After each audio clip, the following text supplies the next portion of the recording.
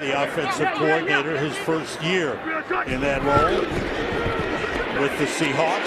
That pass is intercepted. On the takeaway, David Amerson is brought down inside the 30 at the 27.